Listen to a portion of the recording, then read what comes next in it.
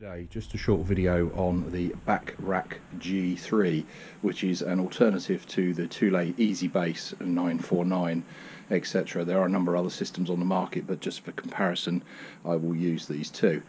As you can see, back of my um, Volkswagen Transporter T5, um, I have a detachable tow bar, which I will now fit, and I will take you through the process of installing the G3.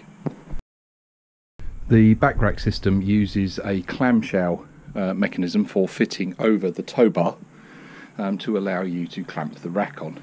Um, this is it in my hand. As you can see, it's uh, branded as Bak Rak, but I'm sure there are others on the market. Um, it's a small two-piece clamshell with a band to tension it around the bottom, which simply snaps over the tow bar, giving you an almost perfectly square uh, fitting to drop the Bak Rak on is the Bak Rak G3 system um, on its own. Um, it's a mild steel rack. Uh, it's galvanized um, and it has this fitting at the tow bar end to allow it to fit over the clamshell. Uh, it has a load rating of 100 kilos, which is um, about double uh, of the Thule 949 system. Have your tow ball in place if it's removable and the um, clamshell attached over the top of your tow bar. The uh, rack is very simple to install. Um, it literally drops into place over the clamshell. Um, it is not bolted in place at the moment, hence it's drooping a little bit at the rear. Um, at this point, you will want to square the rack with the bumper of your car so it's not off centre. Um, there are two locating grub screws built within the clamshell and I will show you what they do in a moment. The clamshell simply comes off the tow bar, the elasticated ring on the bottom, the little orange thing that you can see, is simply there to hold it together um, so that you can guide the rack down safely. It has two grub screws, you can probably just about see one on this side and one on the other. Uh, this is universal fit, can go either way, doesn't make any difference. Um, the grub screws, I don't know if you can see, uh, protrude very, very slightly from the inside. So once you align the Bak Rak and tighten it up, uh, it will leave a small mark on your tow bar, which if you're having problems with the rack moving from side to side, swiveling on your tow ball, you can in fact drill a couple of tiny countersunk marks, I hope you can just see this at the tip of my thumb, uh, into your tow bar. It's not needed, um, but I only intend to use this rack on this tow bar. So for me I just wanted the added safety that it wouldn't swivel. And then you simply wind the grub screws out mine are sticking out about a millimeter maybe two. And they then align into those holes I've drilled on the tow bar which means my rack is always square. I don't have to align it each time I fit it go over that again. Um, as you can see there very slight countersink uh, drill. I think I used the tip of an M6 drill uh, front and back and then the small grub screw on either side of the clamshell. And once that's fitted the uh, you can then rotate it and it firmly finds those holes that have been drilled. And I know that that is perfectly square to the back of my vehicle so when I drop on the Bak Rak and tighten the 19mm bolt the rack is exactly where I want it every time.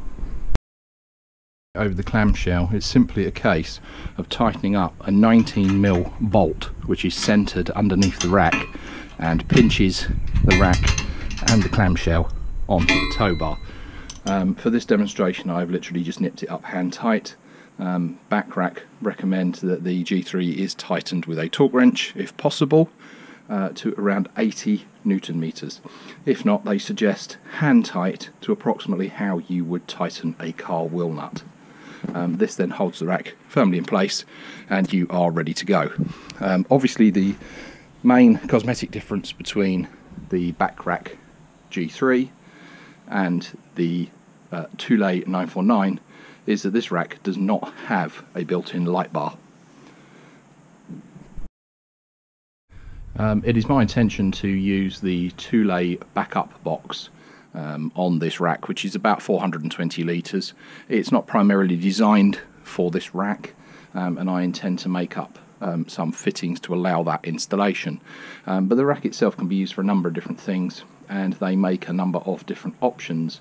Uh, these include small baskets and um, headboards, which is effectively a giant loop for you to stop things sliding forward uh, from the rack. Um, with a payload of 100 kilos um, as it stands, um, obviously you'd have to check your nose weight of the tow bar on your car because not all vehicles would naturally be able to take a 100 kilo load advantage with the Bak Rak G3 is that if you are intending to have it fitted to your tow bar but travel with no load on it, it can in fact be hinged out of the way. Um, you remove the safety pin which passes through the clamshell and then the rack is simply hinged up and the pin is reinserted and it's safe to travel like that. It just means if you're doing a journey where you will only have a load uh, it one way when you're perhaps going to collect something, you don't need to have the rack down when it's empty. Retaining pin now reinstalled as you can see the rack is now ready to take a load um, it just simply passes through the clamshell and has a safety locking ring on the other side removal of the rack is pretty straightforward again just a couple of turns on this um, bolt here to loosen it off and the rack simply be lifted off of the clamshell and stored away. Quick run through of installation onto the vehicle. Um, I already have the tow bar fitted um, and that takes me a, a, minute or two to put in place um, but this obviously real-time video of me actually installing the uh, Bak Rak G3 into a ready to use state.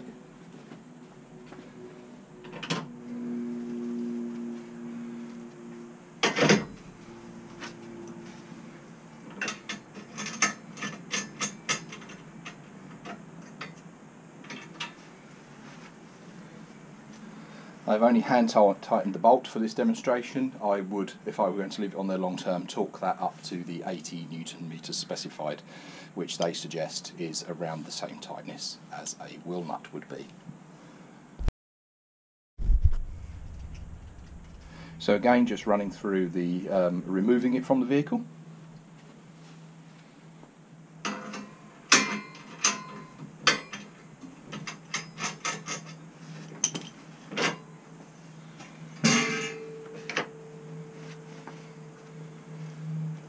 That's really all there is to it. So uh, just to give you some idea of dimensions, um, this rack is coming in at a width of approximately 800 millimeters. That's around 31 and a half inches. Um, the actual frame itself is coming in at 600 millimeters. That's about 23 and a half inches.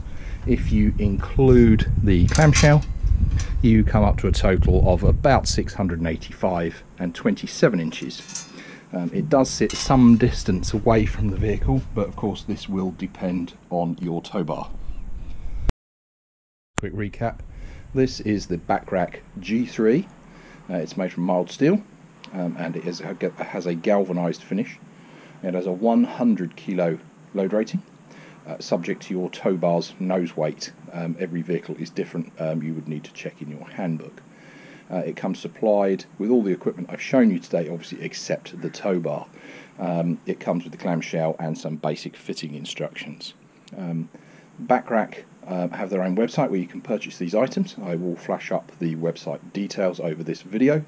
I, however, ordered mine and collected it from Wilmond Engineering in Hitchin, um, who are in fact a manufacturer and stockist of this product. Um, so if that would suit you better, I will also flash up their details over the video. Uh, they didn't have the item in stock when I needed it, but it took them about three days, and then they were they had the items available. Quick recap of the Bak Rak G3 system. Uh, just wanted to say that I'm not connected with Bak Rak themselves in any way, shape, or form. Um, I simply discovered this product by searching for alternatives to the Thule 949 EasyBase. Uh, as I noted earlier, there are some differences. The Thule has a lower uh, load rating, but does come with a light bar. Um, we opted for this product because we have a tow bar with a high nose weight, and this can carry 100 kilos. So we decided to go down this route. Hope you found this video useful. Hopefully it gives you some insight into the uh, Bak Rak G3 system. Um, I don't think there are many other videos on YouTube demonstrating uh, this product. Um, there are several for the Thule 949 Easybase system. But uh, hopefully you found it helpful. Um, hopefully it's of some use to you. And um, in the fullness of time, I will probably make another video once I have made brackets uh, to install the Thule backup box.